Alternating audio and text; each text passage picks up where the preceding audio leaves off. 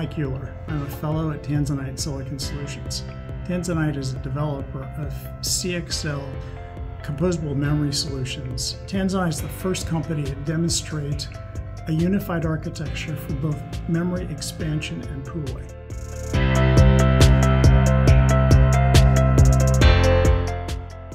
In the pooling example on the right, we have um, four CXL 1.1 hosts and four CXL 2.0 Tanzanite memory devices. Tanzanite's memory device is 2.0 compliant, but we have a unique feature that enables us to support CXL 1.1 hosts with pooling.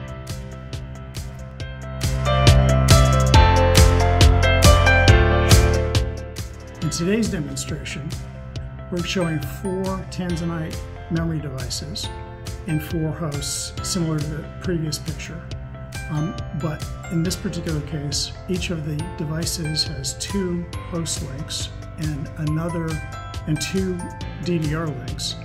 Um, host 2 also has the Samsung memory expander card for additional memory. Um, each host communicates over the CXL links to the devices, and there are nine total devices um, in this picture. The eight to the the memory the memory pooling devices, and one to the CXL expander. To make this real, here's a picture of the enclosure that we have all these devices in. The middle um, box, the purple box in the enclosure, is the Tanzanite memory appliance.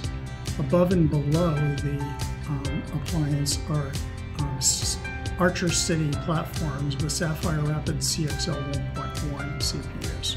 Today's demonstration uses a graphics interface um, that communicates directly with these, the hosts and the uh, Tanzanite memory devices.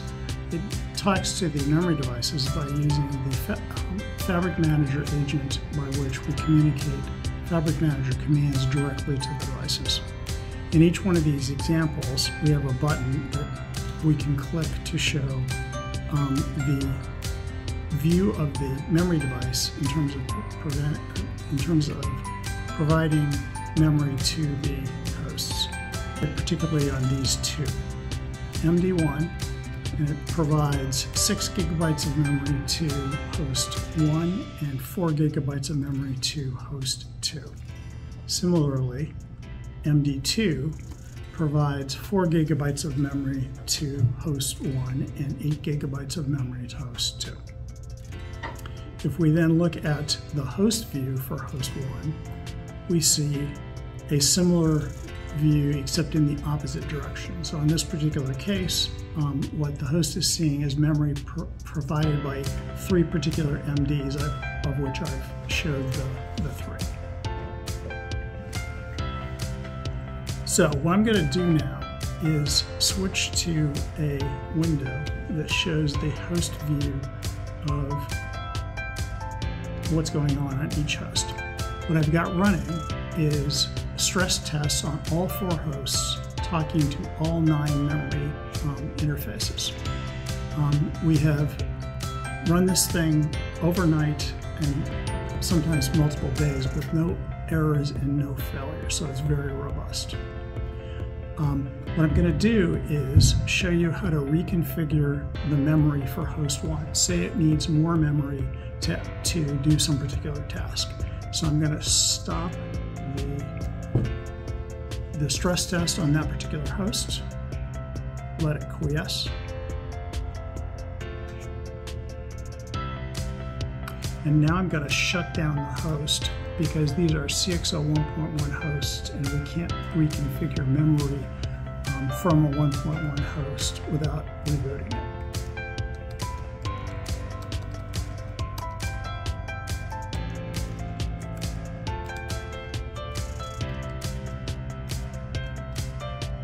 So that uh, dropped the link, the, the window, because we shut it down. So now what I'm going to do is go back to the, GUI. And I'm going to run a script that we've uh, pre-created uh, to reconfigure um, the CXL um, memory allocations to ACID2, which is the uh, host 1.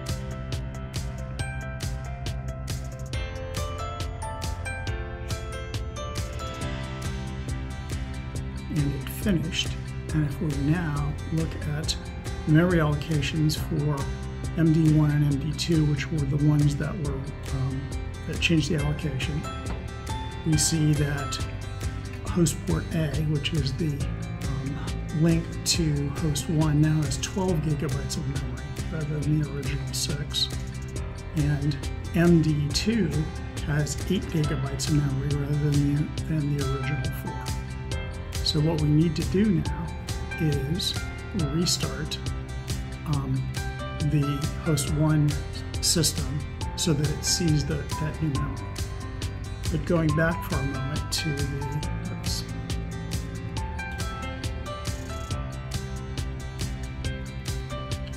going back for a moment to the host window, note that I'm still continuing to run the stress test on all three hosts. And so when we reboot host one, these stress tests are going to continue to run.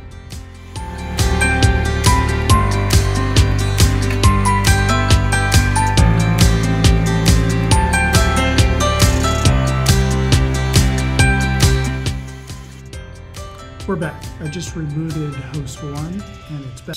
The traffic that was being sent to all four memory devices um, uh, is unchanged. It's continuing to run. So we can reconfigure and reboot without changing, uh, in, without in, impacting any of the traffic that's going to the other um, MDs.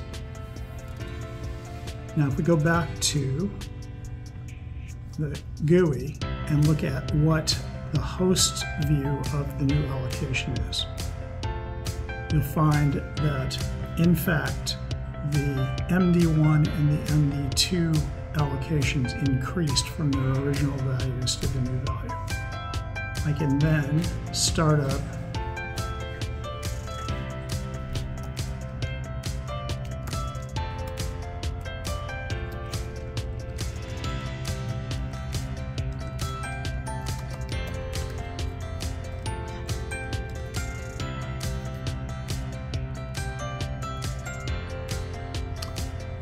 I can now start up the uh, stress test on this particular host and have it back to talking to the three MDs that it's talking to.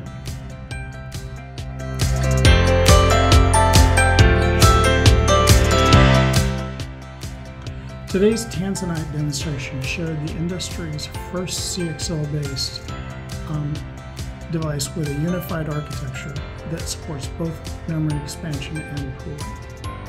We showed large-scale pooling of four Tanzanite CXL 2.0 devices across four CXL 1.1 hosts. We showed the reconfiguration of the memory pool to add additional memory to a host without interrupting the high bandwidth operation to the other hosts. In conclusion, Tanzanite's memory pooling demonstration ushers in a new era of composable computing in the disaggregated data center.